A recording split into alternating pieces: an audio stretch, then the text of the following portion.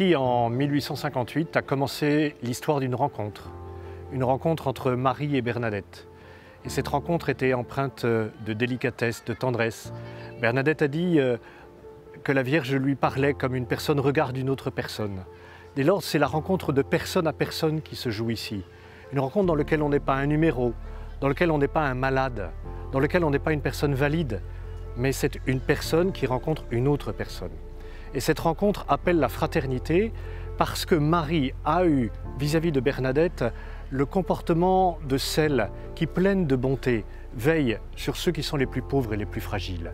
Depuis le début, Lourdes, le sanctuaire de Lourdes, est le lieu où la dignité de toute personne est reconnue pour ce qu'elle est, et où dès lors les relations qui se nouent entre malades et hospitaliers, entre peuples de différentes cultures et de différentes origines, entre les générations différentes, ces relations sont empreintes de cette bonté que Marie avait vis-à-vis de Bernadette.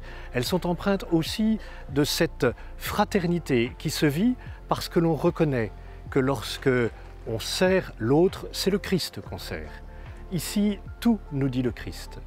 Les plus pauvres, les, les célébrations, les sacrements, le visage de l'Église, tout cela est une immense hymne à la joie d'être frères et sœurs les uns des autres en se rencontrant, en se découvrant, en s'aimant et en se recevant l'un de l'autre.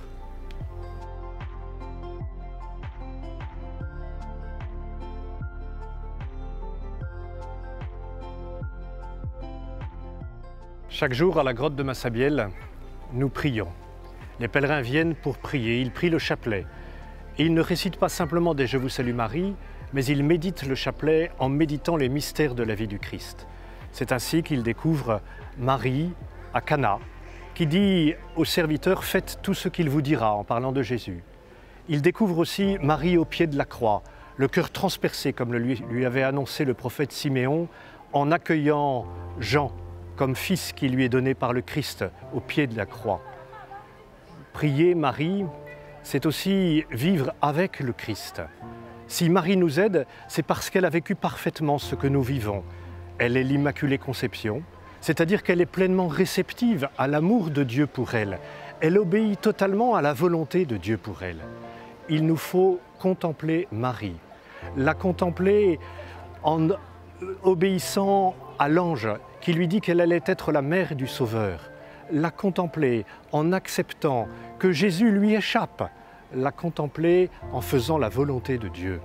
C'est bien parce que nous savons que Marie est notre mère, mais qu'elle est aussi notre sœur, que nous pourrons affronter les difficultés du quotidien, la découvrant avec nous au pied de nos croix, la découvrant avec nous, servant le Christ.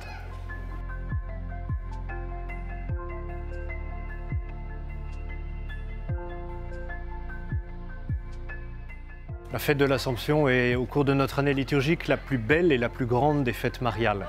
Nous y célébrons le Christ, bien sûr, mais aussi Marie, qui est montée avec son corps dans la gloire de Dieu. Au cours des apparitions à la grotte de Massabielle, peu de paroles ont été échangées, mais il y en a deux qui sont fondamentales. La première, au cours de la troisième apparition, lorsque Marie dit à Bernadette Je ne vous promets pas le bonheur de ce monde, mais dans l'autre. Le bonheur de l'autre monde n'est pas le bonheur qui nous attend après la mort. C'est le bonheur de ce monde qui est inauguré par ces apparitions, dans lequel la relation est une relation d'amour qui se noue entre Marie et Bernadette. C'est bien dans le monde de l'amour qu'il nous est promis d'être heureux. C'est parce que l'on aime, parce que l'on donne, parce que l'on reçoit, que l'on peut vivre de cet amour et donc découvrir le bonheur que Dieu est venu nous apporter. Et puis, il est une autre apparition, lorsque Marie révèle son nom. Je suis l'Immaculée Conception. Ce jour-là, Marie révèle que le dessein d'amour de Dieu s'est totalement réalisé en elle, mais que nous aussi, nous pouvons bénéficier de la miséricorde dont Marie a été gratifiée d'une manière préventive en étant réconciliée avec Dieu par le don de son pardon. C'est l'innocence que nous pouvons recouvrer, c'est déjà la gloire qui nous est promise et qui nous est offerte. C'est une invitation à suivre le Christ humblement, pas à pas, pour un jour entrer dans sa gloire.